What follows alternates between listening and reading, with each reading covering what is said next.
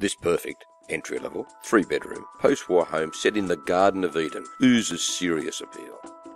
Most of the hard work is already completed, including polished timber floors, a fully renovated bathroom and near new kitchen, spacious air conditioned double lounge area, a massive man cave or ample storage underneath and a double lock up garage.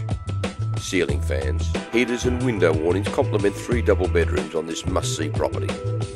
In a perfect cul-de-sac location on a generous 607 square metre leafy block less than 8 kilometres from the CBD, close to Cavendish Road and Nursery Road transport links, schools, TAFE College, shops and Whites Hill Sports Complex, this home will appeal to the most discerning owner-occupier or investor.